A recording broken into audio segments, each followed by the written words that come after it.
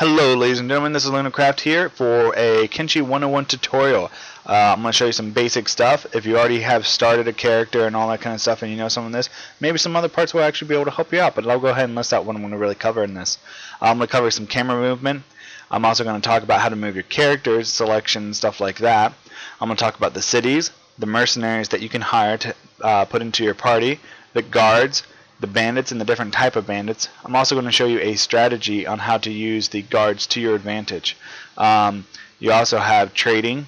There are um, when you're fighting, you can be injured, and there's things such as bleeding that's actually very dangerous. You got to pay attention to. I'll show you that as well. I'm going to show you uh, how to use first aid kits, and then use beds so that you can get your guys up and running to fight some more. So let's go ahead and I'm going to load up my um, my map or what I've already been playing, you'll see my guys are kind of bundled up together upside the mountain where there's a town. Right up in the top right, you can see the walls.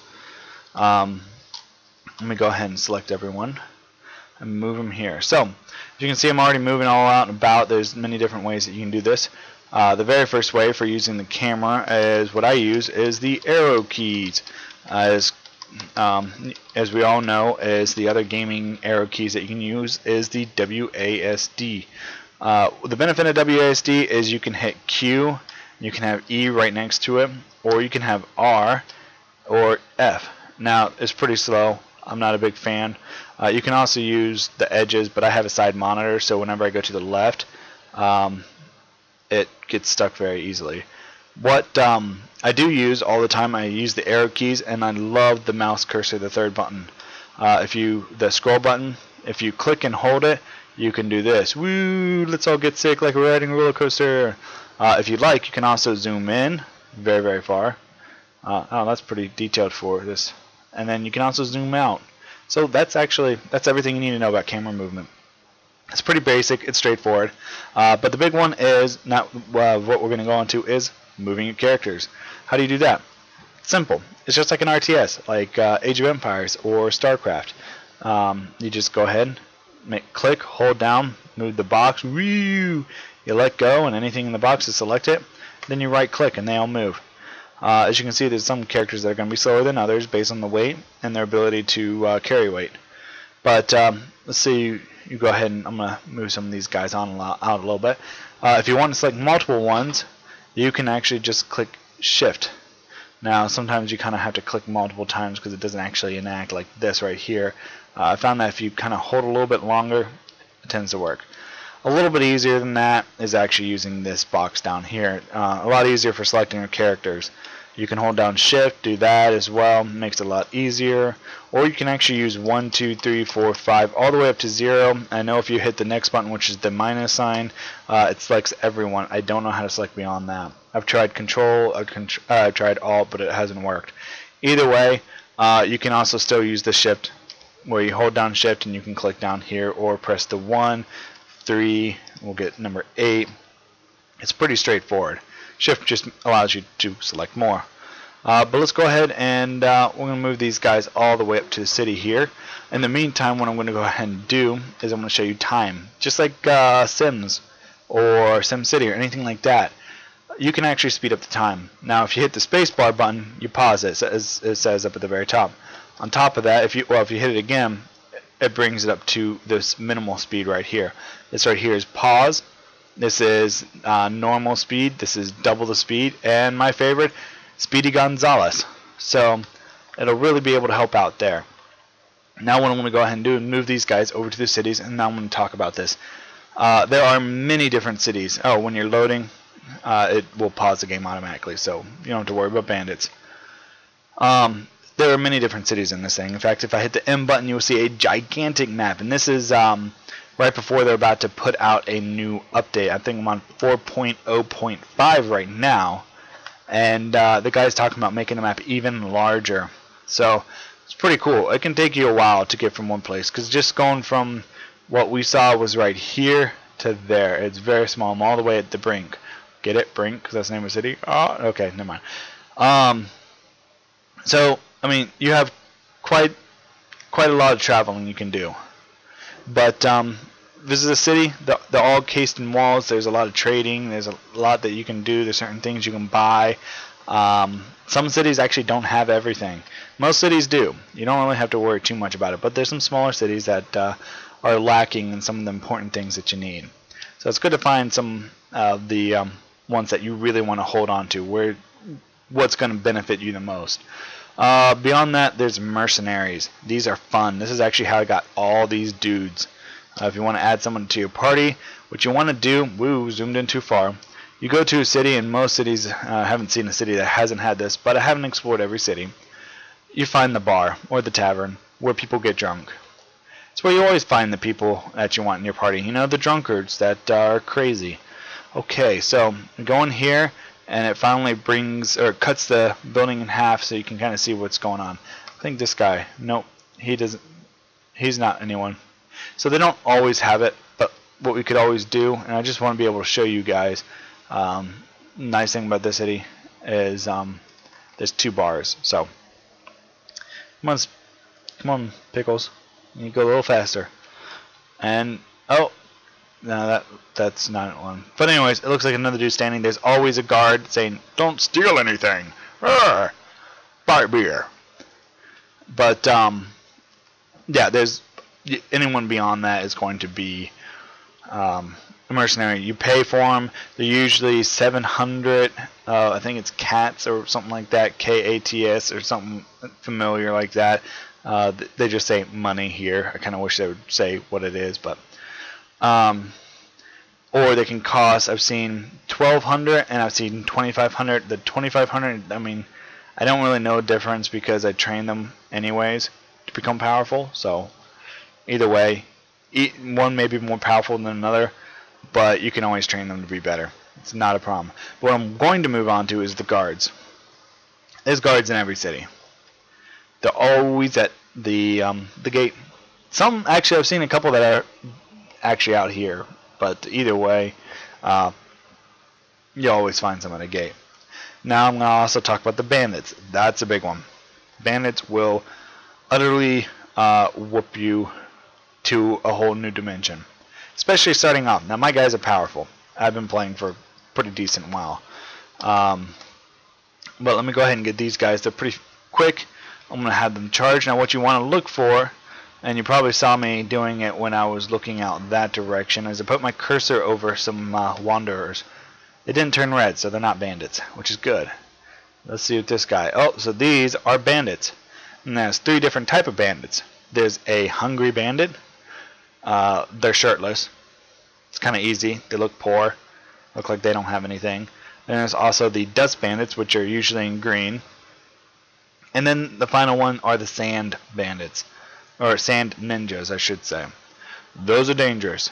I've seen. I used to have um, one of them could take out three or four of my guys easily. But um, those are the different type of bandits. It's pretty straightforward. The big thing is, is you can kind of get close to them. Pause it. These may actually be sand bandits, sand ninjas. No, these are hungry bandits. See how they're shirtless? They don't have anything. Uh, so you can click on them. It says hungry bandits, starving bandits, same thing. So I'm going to go ahead and unpause it, get my guys closer. And as you do this, you can see they want to initiate a battle. They are charging in for this uh, epicness. Let's go ahead and do this. Now, I'm going to actually injure my guys just a little bit. Um, you can see the red is bad, green is good because green's what you do to them. Um, okay, let's pretend, oh no, I'm dying because I'm a noob and I just started this game. I'm going to run away. Oh, here's a kind of a cool thing. I injured that guy's leg, and this can happen to you too. Be very, very careful he ain't gonna run very fast. If you hurt the arm, they're not gonna be able to go there swing the sword as strong. If you go too far negative, you pretty much you can see here it's divided by the body part. Stop running in, guys. trying to do a tutorial. Hello. But um, anyway, so you, you can see really where it comes in. Like this guy's head is hurt, this guy's stomach is hurt, right leg is pretty straightforward. It can go to zero. Zero is when they cannot use it. If they go to, I believe, one or negative 100, you lose it. So you can have your leg amputated from battling. How far do I have to go? Not too far. Okay, now what I'm going to show you guys is a technique, and it's very, very helpful, especially starting off. You really want to do this.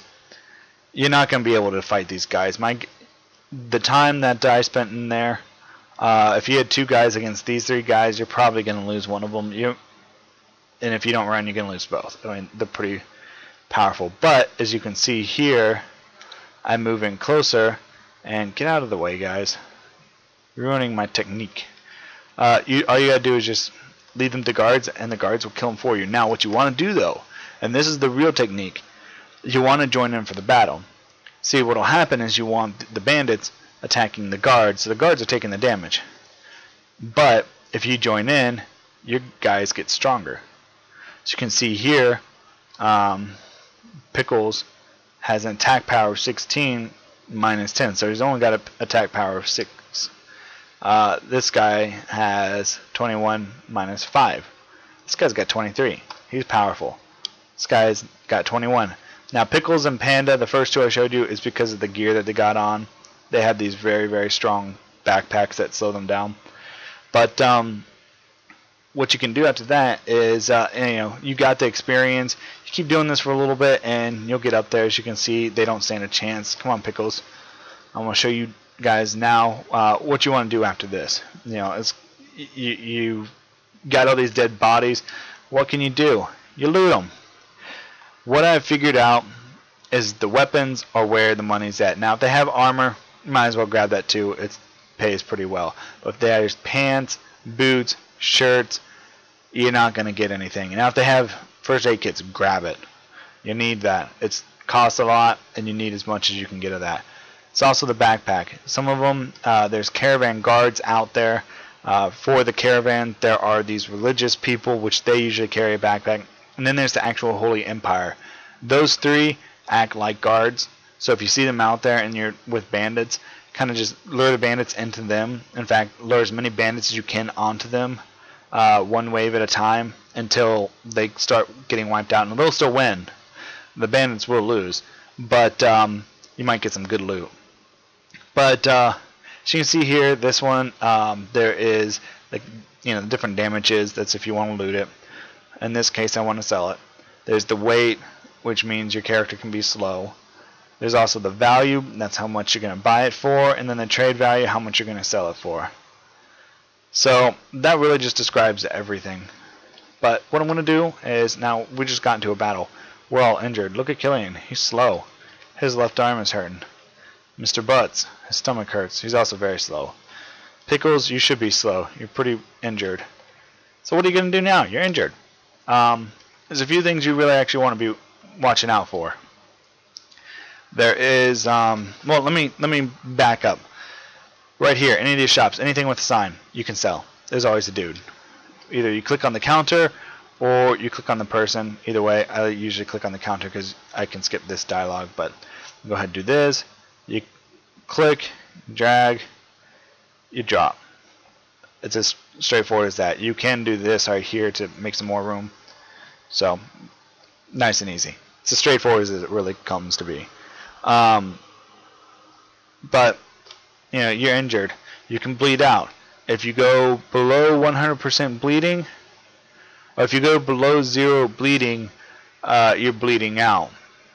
If you go too low, you die your character is finished. There's no more of him. How you can tell if it's going up or down is this right here, the zero. That's a number. It's doing a constant countdown. Um, and once it hits zero, you're not bleeding anymore. Uh, it's kind of a weird system, but when you play and you're injured, you'll see it.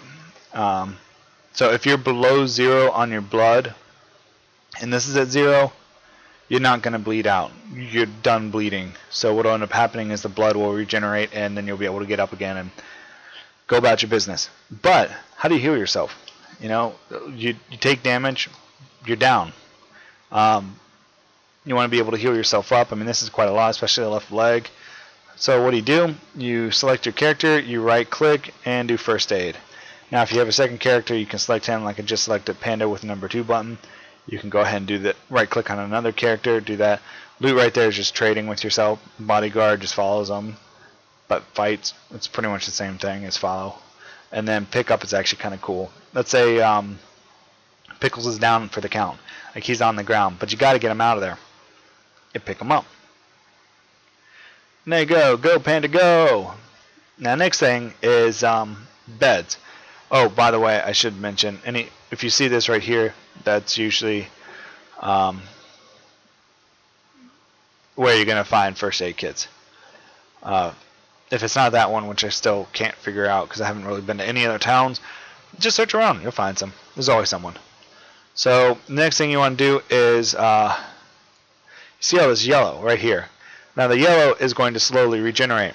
By slowly, I mean it's going to take you days of put it on speed. I'm talking about real life days. I mean, not really that slow. I'm exaggerating, but it takes a while.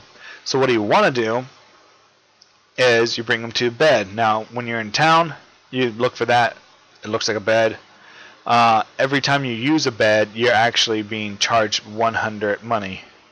So it's really not too efficient. Now, if you're holding someone, you just right click there and he sets them in the bed. So you already paid the money for it. If you know, if you're just controlling the character and he can walk, if Pickles can get up quickly enough, uh, you just right click. I don't worry about wasting money. I can make that in no time right now. And then you will see here uh, he's regenerating this very quickly. And if you want to go faster, you speed it up.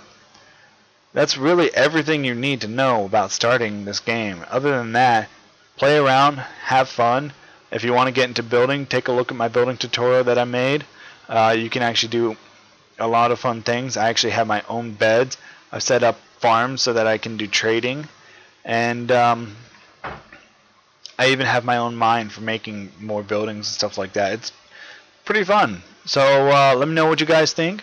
If this was a helpful tutorial, please click the like button. If you got any comments or want me to do a tutorial about anything else, uh, just let me know. And I uh, hope you guys enjoyed it, and I will see you guys later.